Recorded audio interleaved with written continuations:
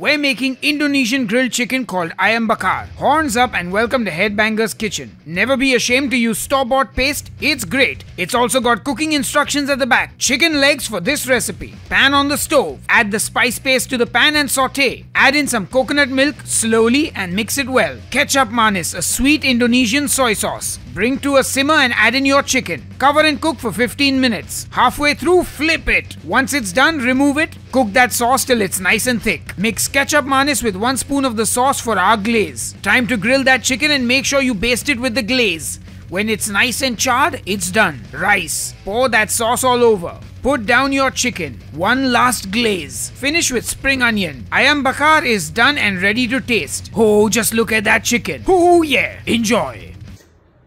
That chicken is so delicious. That sauce is coconutty and creamy.